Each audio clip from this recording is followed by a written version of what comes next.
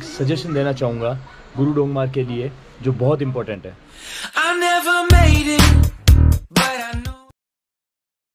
Hey guys welcome back to Panku world so पिछले video में आपने देखा था कि कैसे मैं गुरु डोंगमार लेक गया जो वर्ल्ड की सेकंड हाईएस्ट लेक है 17,800 फीट उसकी ऊंचाई है और वहाँ पर ऑक्सीजन की थोड़ी कमी है तो मुझे भी वहाँ पर कुछ प्रॉब्लम हो गई थी। वो क्यों हुई? क्या मैंने गलतियाँ की? और ऐसा क्या करना चाहिए कि आपको वैसी प्रॉब्लम ना हो? तो इस वीडियो में भाई हम वो सब कुछ आपके साथ शेयर करेंगे।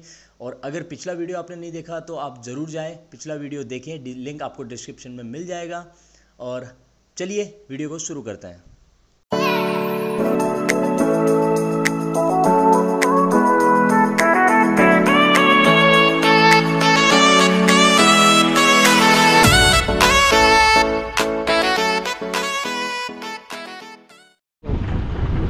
तो भाई ये बेस कैंप है। तो यार, अभी हम आ गए हैं आर्मी कैंप में। और भाई, मेरा भी थोड़ा हालत ख़राब हो गया था। पूरा गला वाला सूख गया था, सांस लेने में प्रॉब्लम हो रही थी। वो इसी वजह से क्योंकि मैं बहुत फास्ट भागा था, उस वजह से मेरे को दिक्कत हो गई थी। तो उसके बाद भाई, मैं भी गाड़ी वाड़ी में बैठा, फिर हम निकले उसके बाद थोड़ा रिलैक्स किया, मैंने इस इस तरीके से मैंने सांस लेने की कोशिश की, गर्मी थोड़ा पैदा किया, तब जाके मेरा थोड़ा थोड़ा थोड़ा नॉर्मल अब जाके नॉर्मल हुआ है मेरा। अभी हम कुछ मोमोज़ या कुछ भी यहाँ पे नाश्ता वास्ता करेंगे यार। अभी थोड़ा रिलैक्स हूँ मैं। सो भाई please don't take risk 20 minute से ज़्यादा वहाँ पे नहीं रुकना आपको। फटाफट से फ़ोटो लिया, देखा और निकल जाने का। तो भाई, पचास रुपये का मोमोज दस रुपये की कॉफ़ी और ये हमें अभी आर्मी कैंटीन में तो आर्मी कैंटीन में थोड़ा नाश्ता वास्ता कर रहे हैं।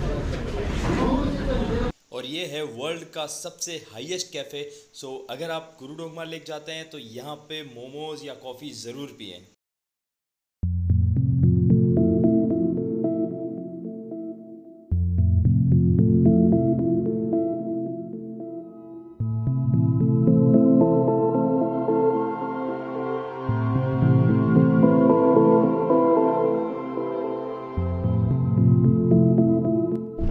अरे भाई, अब देखो, पूरा कादा कीचड़ हो चुका है। धूप बहुत ज़्यादा है, धूप लगती है तो बर्फ़ पिघलती है और पूरा मिट्टी मिट्टी एक्स्ट्रा बर्फ़ हटाने का काम चल रहा है यहाँ पे।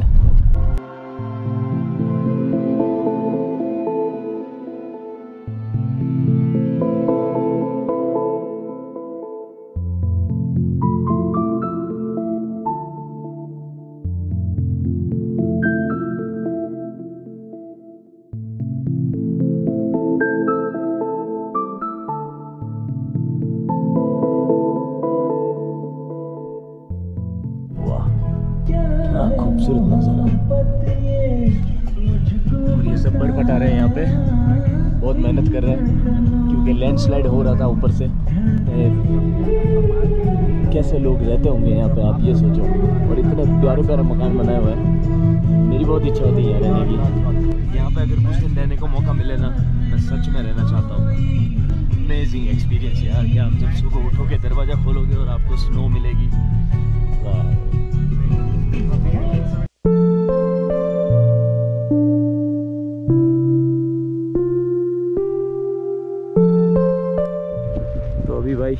मस्ती के मूड में है।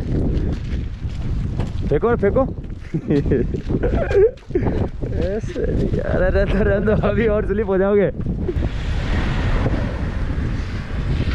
तो भाई चंद्रू भाई ने थोड़ा पेट्रोल वेट्रोल भरा दिया है और अभी निकलते हैं वापस। ठंड वंड हो गई है। हाँ मज़ा आया भाई बहुत मज़ा आया। अभी सब सबका अच्छा हो गया है। हमारे भाभी जी को भी ऑक्सीजन दे दिया था वहाँ पे अ, सेना में। और बस अभी सब बढ़िया है। तो सब अभी नॉर्मल हो गए हैं। अभी निकलते हैं फिर से भाई। लो भाई, एक बंदा और यहाँ लटक गया है, देख लो। खतरों का खिलाड़ी कम नहीं है। चावल, फ़िश, और ये सोयाबीन की हाँ सोयाबीन की सब्ज़ी, पापड़, और सब अब खाना वाना खा रहे हैं। पहुँच गए लाचेन और बस अभी खाना वाना खा के फिर निकल रहे हैं वापस गैंगटॉक के लिए। अपना बैग तैयार है, अपनी गाड़ी वाड़ी भी तैयार है। और अभी हम निकलने वाले हैं गैंगटॉक के लिए। सो so भाई, वीडियो ख़त्म करने से पहले मैं सिर्फ़ एक सजेशन देना चाहूँगा गुरु डोंगमार के लिए, जो बहुत इंपॉर्टेंट है। फ़र्स्ट थिंग कि आप प्रॉपर कपड़े पहन के जाएँ प्रॉपर क्लोथ वगैरह, तीन चार लेयर पहन लो, ऊपर एक अच्छा सा जैकेट पहन लो।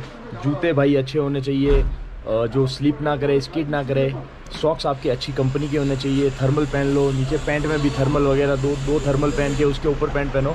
ऐसा करोगे तो आपको उधर ठंड की प्रॉब्लम नहीं होगी, वरना भाई माइनस में बहुत ठंड होता है वहाँ पे तो दिक्कत हो जाती है। सेकंड थिंग वहाँ जब जाते हो गुरु डोंगमा 20 मिनट से ज़्यादा मत रुको। 20 मिनट से ज़्यादा रुकोगे भाई प्रॉब्लम हो सकती है। दूसरी बात, वहाँ जाओ तो भाई ज़्यादा मत बोलना आप, ज़्यादा बोलना नहीं, आप सिंपल से ठीक है जाओ व्यू का मज़ा लो फ़ोटो वोटो खींच लो, वीडियो बना लो और उसके बाद 20 मिनट में निकल जाओ। तो अच्छा रहेगा तो कोई प्रॉब्लम नहीं होगी। और अगर आपको कोई अस्थमा वगैरह की प्रॉब्लम है तो भाई फिर ध्यान से ही आप जाएँ, क्योंकि वहाँ दिक्कत ज़रूर होगी। वहाँ पे ऑक्सीजन लेवल बहुत कम है। मुझे कोई प्रॉब्लम नहीं है। फिर भी देखो ना, मुझे भी प्रॉब्लम हो गई थी थोड़ी बहुत, कि एक बार मेरा पूरा गला सूख गया, कुछ बोलने को भी मतलब हो नहीं रहा था, आवाज़ चेंज हो गई थी। तो दिक्कत तो थोड़ी बहुत मुझे भी हुई थी, वो इस वजह से क्योंकि मैंने भाग दौड़ बहुत की थी। तीसरी थिंग भाग दौड़ नहीं करनी है आपको। जल्दी से मतलब भागना नहीं है या आपको आराम से धीरे धीरे धीरे धीरे आप, अच्छे से एक्सप्लोर कर लो। बस ज़्यादा अपने आप शरीर को थकाना नहीं है आपको तो आपको दिक्कत नहीं आएगी। और साथ में कपूर ले लो या अदरक ले लो। अदरक आपको मुँह में रखो तो आपको गर्मी देगा और कपूर वगैरह उसको आप सुनते रहोगे तो थोड़ा वो भी हेल्प करता है भाई। तो चलो यार, ये सब ही था। मैं, चलो मेरी किस्मत अच्छी है कि मैं करके आया, कोई प्रॉब्लम नहीं हुई, दिक्कत नहीं हुई। आराम से अच्छे से हो गया और बहुत अच्छी है मस्ट विज़िट प्लेस है गुरु डोंगमार्ग। वहाँ जाना ही जाना है। और ये जो टूर पैकेज है, ज़रूर करना। बहुत अच्छा पैकेज होता है ये।